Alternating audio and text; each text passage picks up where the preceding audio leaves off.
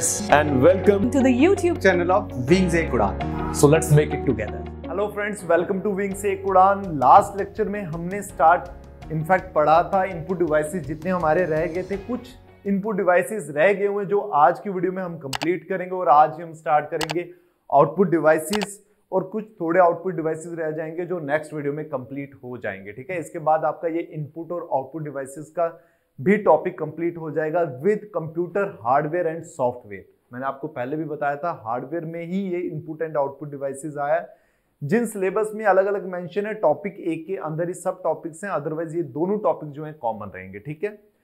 तो लास्ट जो हमने इनपुट डिवाइसेस में पढ़ा था, वो क्या पढ़ा था? हमने पढ़ा था ऑप्टिकल कैरेक्टर रिकॉग्निशन पढ़ा था। आज हम स्टार्ट करेंगे मैग्नेटिक इंक कैरेक्टर रिकॉग्निशन देखिए मैग्नेटिक इंक करेक्टर रिकॉग्निशन में अगर आप देखेंगे तो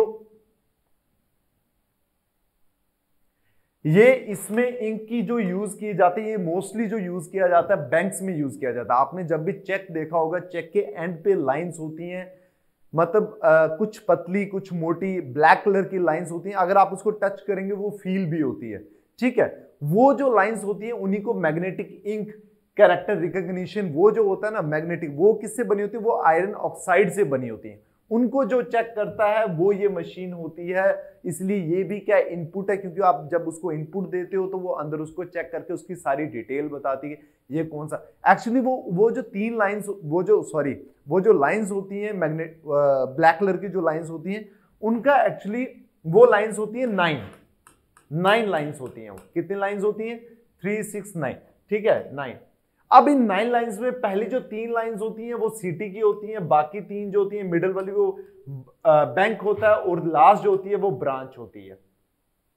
ठीक है? मतलब पहली तीन लाइंस ये बताएँगी कौन सी सिटी में आपका ये बैंक है, फिर कौन सा बैंक है और फिर कौन सी ब्रांच है। ये तीन लाइंस और ये ब्लैक कलर की होती हैं। अगर आप इनको टच करेंगे, ये आपको फील भी होंगी फील इसलिए होती है क्योंकि ये जिस मटेरियल से आयरन ऑक्साइड से बनी होती है ये, ठीक है? उनको ये डिटेक्ट करके समझता है, वो कोड को फिर डिकोड करता है, ये एमआईसीआर जो हो गया, ठीक है? The M I C read the character by examine ये किन कैरेक्टर्स को read by examine their shapes in a matrix वो मैट्रिक्स फॉर्म में होती हैं and the information is then pass on to the computer ये क्या करता है? उस जो कोड को होता है, वो डिकोड करता है, उसको समझ के कंप्यूटर में इंफॉर्मेशन देता है और चेक की जो भी डिटेल होती है सिटी ब्रांच और बैंक जो मैंने आपको कहा उसको डी डिकोड करेगा, ठीक है? The characters are produce using a special ink कौन सी ink iron particles iron oxide ink को यूज़ करके ये क्या करता है? वो जो लाइंस बनी होती हैं, वो किसे आयरन ऑक्साइड से मिलकर बनी होती हैं, ठीक है?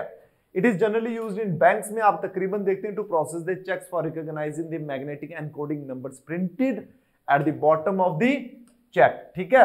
अब नेक्स्ट आ गया, हमने ये पढ़ा, अब नेक्स्ट है स्मार्ट कार्ड रीडर देखिए स्मार्ट कार्ड रीडर तो आजकल मोस्टली हर जगह यूज़ होता है। शॉप्स में मॉल्स में, उसके बाद पेट्रोल पंप में बैंक में, कहीं पे भी जाएँगे, ये तकरीबन ये यूज़ होता है। ये कार्ड आपने देखा होगा। ये मैं आपको, ये देखिए, इस तरह का होता है। ठीक है? ये इसमें क्या होता है, या फिर आप इसमें एक इंसर्ट करेंगे, यहाँ से कार्ड इंसर्ट कर सकते हैं, या फिर स्वाइप का, दोनों आपने देखा। पहले मोस्टली स्वाइप का देखा जाता था आजकल ये इंसर्ट किया जाता है यहाँ पे, ये देखेंगे। अब देखिए, इन कार्ड्स में भी स्मार्ट कार्ड रीडर जो होता है, ये जो रीड करता है, वो उसमें क्या करेंगे? जब आप कार्ड इनपुट करेंगे या स्वाइप करेंगे, वो डिटेल्स यहाँ पे कुछ न कुछ डिटेल्स आ जाती है, जिसके थ्रू वो फिर आपके इस कार्ड के थ्रू या फिर उस अकाउंट में क्या होता है अमाउंट डिटेक्ट हो जाती है। मतलब आप कार्ड डाल रहे हैं इनपुट आ रहा है यहाँ पे, इसलिए ये इनपुट डिवाइस है, ठीक है? देखिए अब इसमें दो कार्ड्स दो तरह के कार्ड्स आते हैं। एक मेमोरी कार्ड आता है या फिर जिसको, और सेकंड आता है माइक्रो प्रोसेसर कार्ड ठीक है? मैग्नेटाइज कार्ड भी इसको आप बोल सकते हैं। देखिए मेमोरी कार्ड और माइक्रो प्रोसेसर में ये फ़र्क हुआ है। आजकल डिफरेंस है ये। आप देखेंगे, आजकल जो आप एटीएम कार्ड यूज़ करते हैं, वहाँ पे ब्लैक कलर की बाहर स्ट्रिप नहीं बैक साइड में ब्लैक कलर की मैग्नेटिक स्ट्रिप नहीं होती है, जो पहले होती थी, जिसको आप स्वाइप करते थे। आप उसी स्ट्रिप को स्वाइप करते थे, क्योंकि वहाँ पे डिटेल्स होती थी। और वो नॉन वोलाटाइल डिटेल्स होती थी आपके रिलेटेड जिससे उस मशीन को पता चलता था अच्छा ये डिटेल है, ये अकाउंट है, यहाँ से डिटेक्ट करना, जो भी अदर आपको इन्फॉर्मेशन मिनी स्टेटमेंट देता था या फिर बैलेंस चेक करना कुछ भी होता है। उसमें वो डिटेल्स होती थी, लेकिन आजकल वो मैग्नेटिक स्ट्रिप नहीं लगी होती, आजकल आपका माइक्रो प्रोसेसर लगा होता है।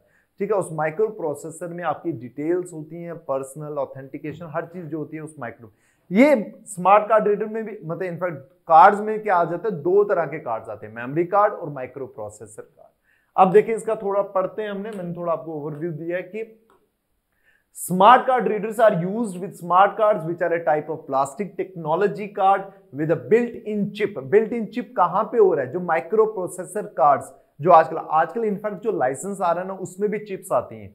ठीक है, चिप लगा होता है माइक्रो प्रोसेसर वहीं पे आपकी डिटेल्स होती हैं, ठीक है? Use for electronic process including personal identification access control authentication and financial transaction जितनी भी होती है, ठीक है? It access the microprocessor of a ये क्या करता है माइक्रो जो कार्ड का ऊपर माइक्रो प्रोसेसर होता है, उसको क्या करता है? प्रोसेस करता है ठीक है?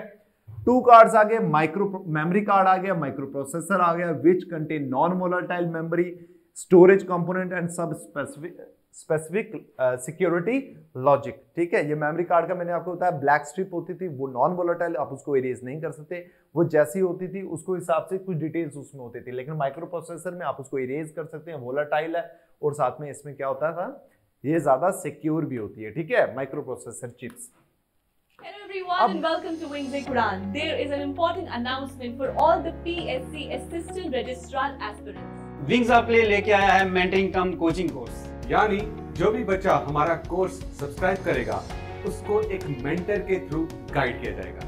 गाइस मेंटरिंग का मतलब कि आपको एक particular faculty member properly guide करता रहेगा थ्रू आउट द प्रिपरेशन उसके साथ साथ video course study material MCQ sessions all will be included in this course guys faculty members सारे वही होंगे जो पीएससी और यूपीएससी के एग्ज़ाम्स को ऑलरेडी फेस कर चुके हैं, जिन्होंने मेंस लिख रखा है, जो इंटरव्यू स्टेज तक पहुँच रखे हैं। So all those people who are guiding you have already been through this exam. ये कोर्स विंग्स लेकर आ रहा है नॉर्थ इंडिया की सबसे बड़ी ऐप पे दुरीना app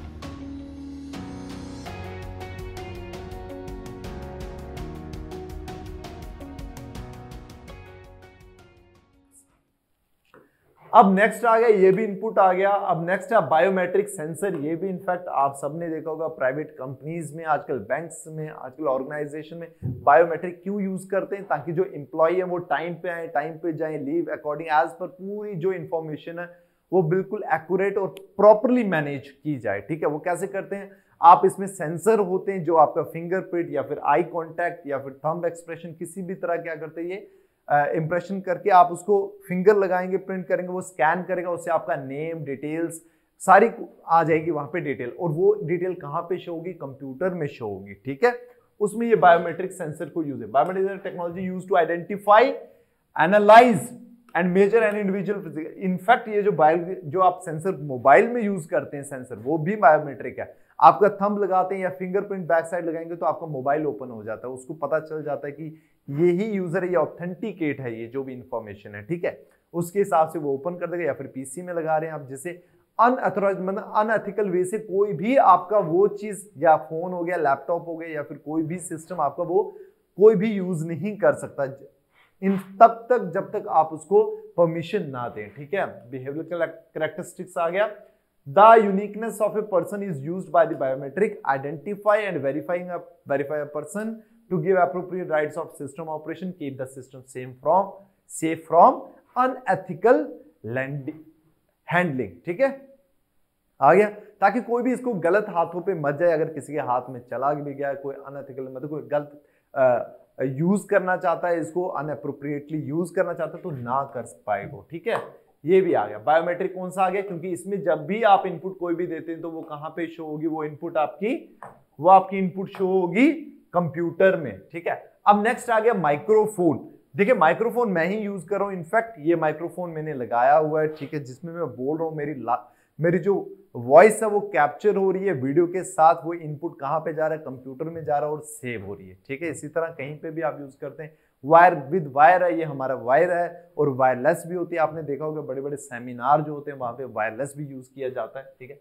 Microphone it is use to convert sound wave ये क्या करता है साउंड मैं बोल रहा हूँ, ये साउंड मेरी जो वेव्स रिलीज़ हो रही है साउंड वेव्स है, इन साउंड वेव्स को इसमें एक साउंड कार्ड लगा हुआ जो चेंज कर कन्वर्ट करता है। किसको? मेरी साउंड वेव को किसमें करेगा? इलेक्ट्रिकल में। क्योंकि ये थ्रू वायर तो इलेक्ट्रिकल यहाँ पे तो आवाज़ गूंजेगी नहीं यहाँ पे।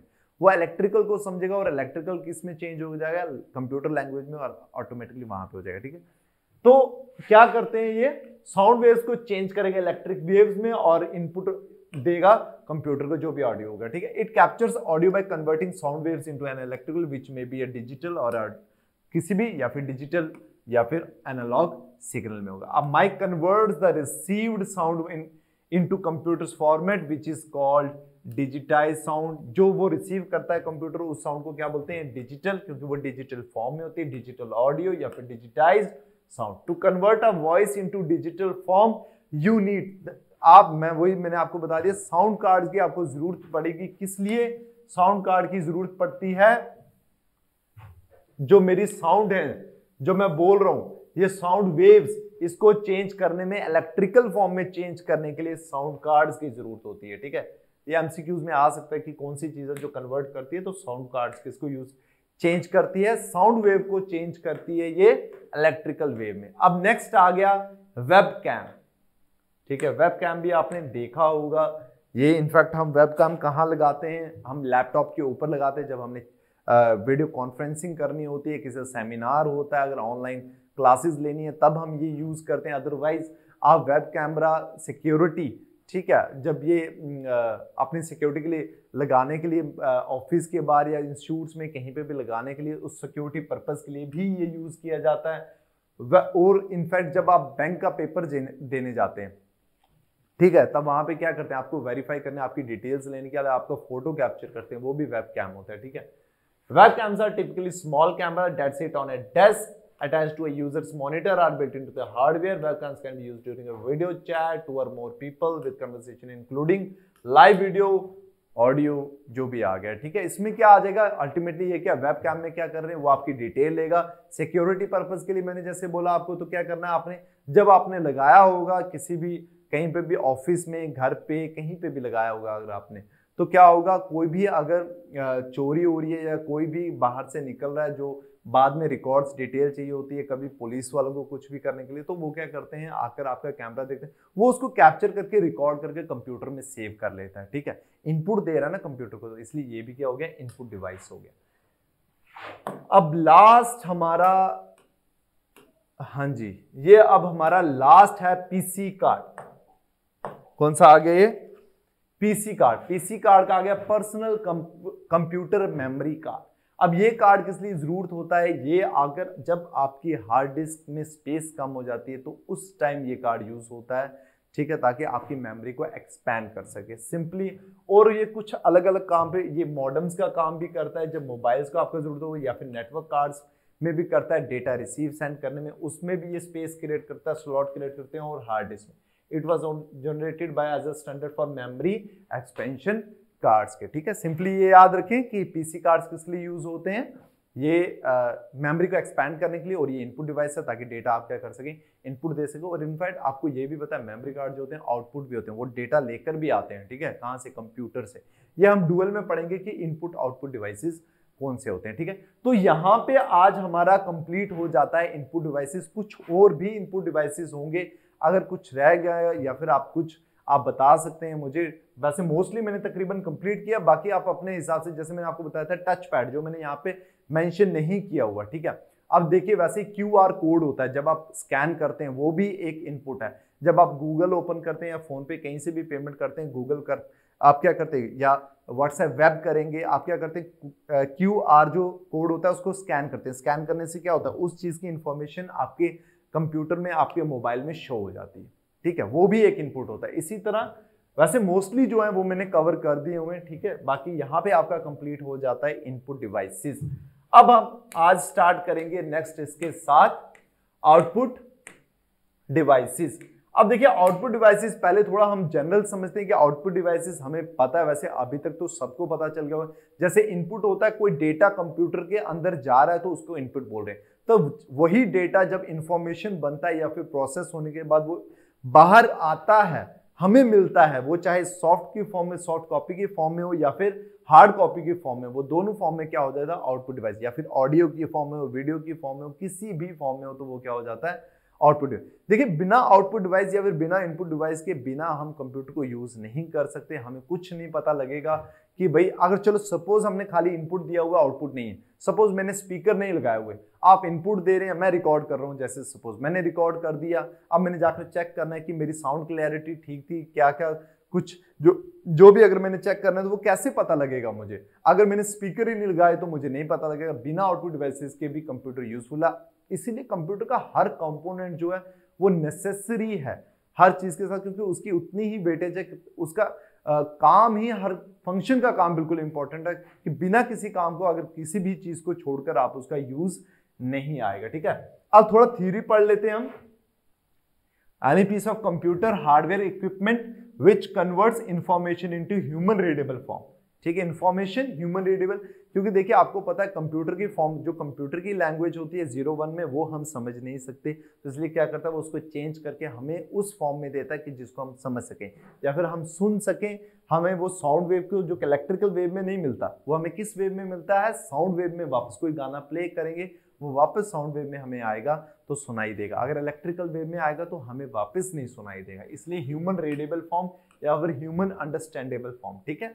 इट कैन बी टेक्स्ट हो सकता है ग्राफिक्स हो सकते हैं टेक्निकल या फिर ऑडियो या फिर वीडियो कुछ भी हो सकता है। Input device there is no way to determine word the computer तो भाई बिना आउटपुट डिवाइस के हमें नहीं पता लगेगा भाई कंप्यूटर कर क्या रहा है अगर वो डिस्प्ले नहीं करेगा या फिर कुछ भी नहीं करेगा there is no indicator of errors nor of the need for the additional input For example, if you detach your monitor from the computer will function, but it's not going to.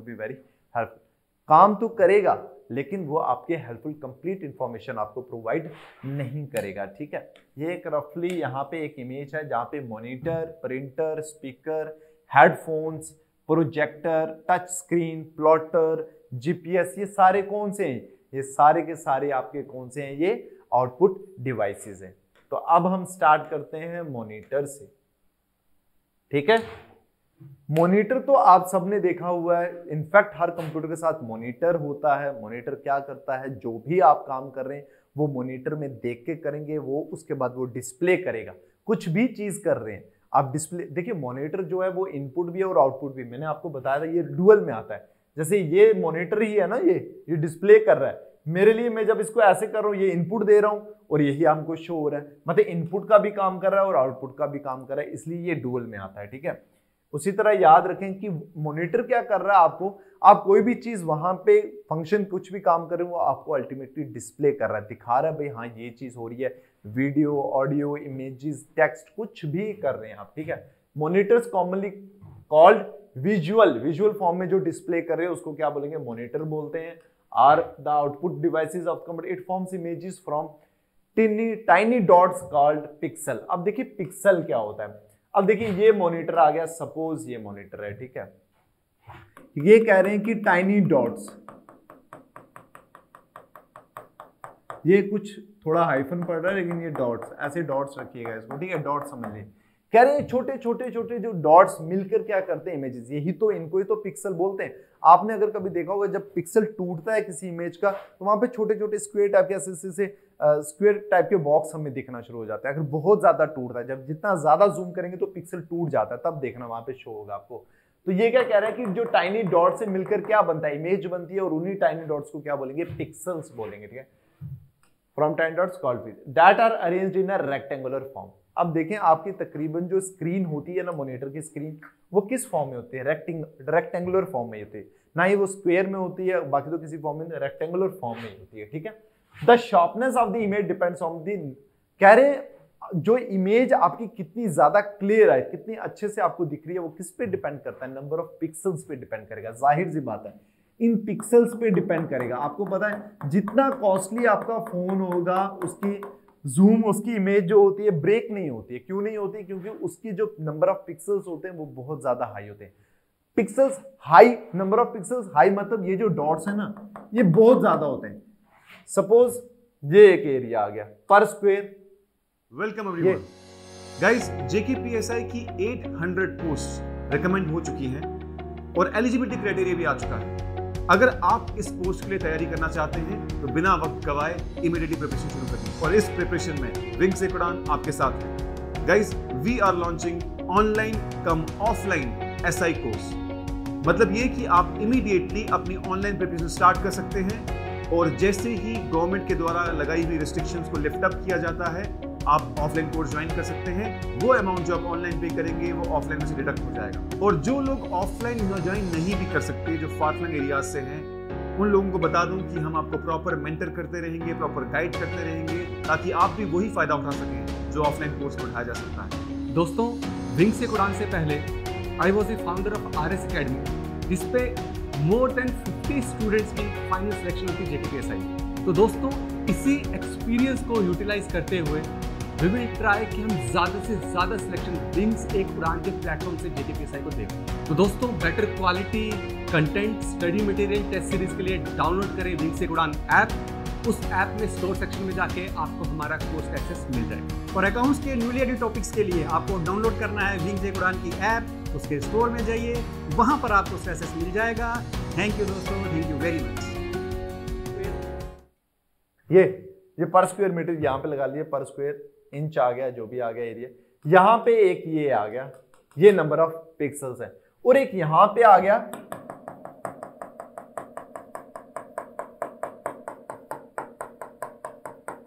इससे ज़्यादा। ठीक है? यहाँ पे कम, यहाँ पे ज़्यादा। तो जो नंबर जो इमेज होगी ना, यहाँ पे क्लियर आएगी, क्योंकि इसके पिक्सल्स बहुत ज़्यादा करीब है, इसलिए इसकी इमेज काफ़ी ज़्यादा क्लियर आएगी, इसमें दूर है, इसलिए नहीं आएगी, इसमें क्लियर ठीक है? इसलिए देख शार्पनेस किस पे डिपेंड करती है? शार्पनेस डिपेंड करती है कि आपके नंबर ऑफ़ पिक्सल्स कितने ज़्यादा हैं। अब monitor is of two kinds एक मोनोक्रोम मोनो का मतलब क्या हो गया? सिंगल सिंगल कलर मॉनिटर भी पहले जो आते थे वो कौन से? ब्लैक एंड व्हाइट में आते थे, जिसमें आपको एक ही इमेज आती थी। ब्लैक एंड व्हाइट जिसको आप बोलते थे, ठीक है? वो मोनोक्रोम आ गए और आजकल कौन से आगे? कलर में आते हैं, ठीक है? और कलर डिस्प्ले आ गया जिनको आप बोलते हैं, ठीक है? मोनोक्रोम में क्या होता था? Monitor uses only one colour to display सिर्फ़ एक ही कलर होता था जिसको वो डिस्प्ले करता था, ठीक है? एंड कलर डिस्प्ले में क्या हो गया? वहाँ पे 265 कलर्स जो होते हैं, उसको डिस्प्ले करता है। इसलिए आपकी वो जो स्क्रीन होती है, वो सारे कलर्स के साथ मिलकर आपको कलर डिस्प्ले होती है, ठीक है? अब नेक्स्ट आ गया the refresh rate the refresh rate of monitor is measured in hertz ठीक है? ये याद रखिएगा पॉइंट एमसीक्यूज पे ये इंपॉर्टेंट है कि the refresh rate of monitor जो होता है, अब देखिए रिफ्रेश रेट क्या होता है, मैंने आगे एक्सप्लेन किया हुआ है, लेकिन मैं आपको बता दूँ रिफ्रेश रेट में, आपकी जो स्क्रीन है, वो एक मिनट में कितनी बार रिफ्रेश हो रही है, उसी को बोलते हैं रिफ्रेश रेट उसकी स्पीड कैसे? हर्ड्स में मेजर की जाती है, ठीक है? अब देखिए ये नॉर्मली वैसे मोनिटर सबने देखा होगा, ठीक है? ये आ गया वन काइंड ऑफ़ मोनिटर अब the clarity of image depends on three factors अब देखिए, जो आपकी इमेज है या फिर आपकी जो ऑडियो है या फिर जो आपकी वीडियो है, वो उसकी क्लैरिटी किस पे डिपेंड करेगी? तीन चीज़ों पे डिपेंड करेगी। एक रेजोल्यूशन एक डॉट पिच और एक रिफ्रेश रेट रिफ्रेश रेट मैंने आपको अभी बताया नंबर बाय विच पर सेकंड यहाँ पे आधा लिख दिया हुआ है मैंने टाइप आधा कर दिया हुआ है, ठीक है? इसमें क्या हो रहा है कि आपकी जो स्क्रीन है, एक मिनट में कितनी बार पर सेकंड में कितनी बार अपडेट होती है या फिर स्कैंड होती है, उसमें उसको बोलेंगे रिफ्रेश रेट ठीक है? The higher the refresh rate the more solid the image looks जितनी बार वो एक सेकंड में जितनी ज़्यादा टाइम्स वो रिफ्रेश हो रही है, उतनी ज़्यादा उसकी इमेज की क्या होगी? क्वालिटी ज़्यादा होगी, ठीक है? अब सेकंड आ गया dot pitch it refers to the diagonal distance between the two coloured pixel the smaller the dot pitch the better the resolution अब देखिए, मैं यहाँ पे आपको थोड़ा बता देता हूँ। जैसे ये आ गया स्क्रीन ठीक है? यहाँ पे तो चलो डॉट्स हैं। नंबर ऑफ़ पिक्सल या फिर डॉट्स के इनको। अब देखिए ये ऐसे डॉट पिच कैसे देखते हैं यहाँ पे? सपोज़ ये मैंने जूम करके ले लिया, एक ये। ठीक है?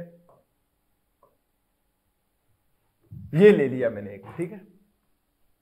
ये डॉट पिच अब ये कह रहे हैं the smaller the dot pitch the better the resolution smaller मतलब इसमें जो डॉट पिच ये डॉट देखिए ये यहाँ पे एक वर्टिकल आपको पता है इस एरो को बोलेंगे ये वर्टिकल पोजीशन में, इस एरो को बोलेंगे ये हॉरिजेंटल पोजीशन में। हॉरिजेंटल और ये वर्टिकल ठीक है? ये हॉरिजेंटल पोजीशन में और ये वर्टिकल पोजीशन में। इसी तरह देख ली, ये वर्टिकल लाइन है और ये हॉरिजेंटल लाइन है। ठीक है? इनके बीच में जो डायगोनल है, इससे हम डॉट पिच मेजर करके बताएँगे कि हाँ भाई, इस डायगनल लाइन से डायगनल लाइन को ये डॉट पिच बोलते हैं, इधर से हम मेजर करेंगे कि भाई, इन दोनों में कितनी ज़्यादा कम स्पेस जो है, वो जितनी ज़्यादा कम होगी, उतनी ज़्यादा क्लैरिटी होगी उसकी, ठीक है? इसी वही चीज़ लिखी हुई diagonal diagonal distance between the two ये डायगनल डिस्टेंस आ गई, ये। ऐसे नहीं कि कोई भी ये डॉट्स है अच्छा ये इन दोनों के बीच में कितना, ये आएगा ऐसे, ये डायगनल इन दो डायगनल का डिस्टेंस देखना जितना कम होगा, ज़्यादा कम होगा उतनी ज़्यादा उसकी क्लैरिटी ज़्यादा होगी। ठीक है? डॉट पिच ये आ गया। अब आ गया resolution refer to the number of pixel in horizontal and vertical direction अब रेजोल्यूशन में क्या आ गया? वर्टिकल और हॉरिजेंटल में कितने ज़्यादा पिक्सल्स हैं? वो जितने ज़्यादा होंगे, उतना ज़्यादा रेजोल्यूशन क्या होगा? उसका हाई होगा। The resolution of monitor is higher when the pixels are closer together जितने ज़्यादा क्लोज होंगे, उतनी ज़्यादा रेजोल्यूशन हाई होगी। जितना ज़्यादा ये क्लोज होंगे, उतना ज़्यादा डॉट पिच भी क्या होगा? हाई होगा। डॉट पिच हाई होगा तो रेजोल्यूशन हाई होगी। जितना ज़्यादा ये पिच में क्लोज होंगे, उतनी ज़्यादा रेजोल्यूशन भी आपकी हाई होगी। ठीक है, ये तीनों आ गया इन तीनों पे डिपेंड करता है कि आपकी इमेज आपकी ऑडियो कितनी ज़्यादा क्लियर होती है और आपकी स्क्रीन में कितना ज़्यादा वो क्लियर शो मॉनिटर में कितना ज़्यादा शो होता है। अब टाइप्स ऑफ़ मॉनिटर ठीक है? देखिए, ये थ्योरी आप सिर्फ़ इसको थोड़ा थोड़ा समझे, ज़्यादा डिटेल में जाने की ज़रूरत नहीं है आपको। बस आपको पता होना चाहिए कौन सा आउटपुट है, कौन सा, मैंने वो भी बताया था, कुछ फैक्ट्स कुछ पॉइंट्स हैं जिनमें बन जाते हैं। जैसे अभी रेजोल्यूशन में बन जाते क्वेश्चन एमसीक्यूज बन सकते हैं डॉट पिच में बन सकते हैं रिफ्रेश रेट में बन सकते हैं हार्ड्स में बन सकते हैं स्पीड में बन सकते हैं, ऐसे बन सकते हैं, ठीक है? इन ज़्यादा थ्योरी में नहीं बन सकते कि हाँ इतना थोड़ा थोड़ा ज़्यादा और वो ज़रूरत नहीं है, ठीक है? टाइप्स ऑफ़ मॉनिटर देखिए कैथोड रे ट्यूब वो मॉनिटर होते थे जो सबसे पहले। हमने इनफैक्ट हम जब आ, मैं बात करूँ तो आ, 2010 से पहले भी वैसे टीवीज होते उस टाइम एलसीडी एलईडी नहीं आया होता था ज़्यादा। मतलब इतना ज़्यादा नहीं यूज़ किया जाता था पहले भी ये जिसमें क्या होता था ऐसे टीवी टाइप का होता था यहाँ पे बना होता था और उसके बैक साइड में ऐसा से स्पेस होता था। ठीक है और यहाँ पे ये टीवी रखा जाता था ऐसे टीवी मॉनिटर होता था। इसमें क्या होता था यहाँ पे ना इसमें यहाँ पे इलेक्ट्रॉन गन होती थी। उस गन के थ्रू इलेक्ट्रॉन जो होता था, वो स्ट्राइक करता था। फॉस्फोरेसेंट स्क्रीन ये स्क्रीन जो होती थी ना, इसको फॉस्फोरेसेंट स्क्रीन बोलते थे। अब फॉस्फोरेसेंट स्क्रीन फॉस्फोरेसेंट का ये हो गया। फॉस्फोरेसेंट स्क्रीन होती थी जिसपे ये इलेक्ट्रॉन गन क्या करता था इलेक्ट्रॉन गन स्ट्राइक करता था हिट करता था इलेक्ट्रॉन को। उससे क्या हो जाता, आपको इमेज शो होती थी। ठीक है?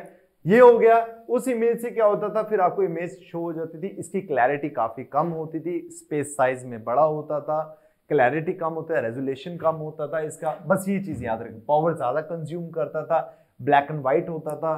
The C R T is a technology use in traditional computer monitors and television the image on is created by firing electrons from the back of the tube of phosphorus located towards the front of the screen. ये हमने पढ़ लिया। Back में electron gun होता था, वो hit करता था इलेक्ट्रॉन को किसमें फॉस्फोरेसेंट स्क्रीन में, जहाँ से आपकी इमेज शो होती थी। अब इसकी डिसएडवांटेज भी देख लें कि पावर बहुत ज़्यादा कंज्यूम करता था ये, ठीक है? साइज़ इसका लार्ज होता था, उसके बाद ब्लैक एंड व्हाइट होता था रेजोल्यूशन कम होती थी बेटर क्वालिटी नहीं प्रोवाइड करता था। अब उसी तरह जैसे जैसे आप आगे जाते, जाएँगे, इसकी क्वालिटी इसका साइज़ रिड्यूस होता जाएगा क्वालिटी इंक्रीज होती जाएगी पावर कंजप्शन डिक्रीज होती जाएगी। इस हिसाब से ये क्या है?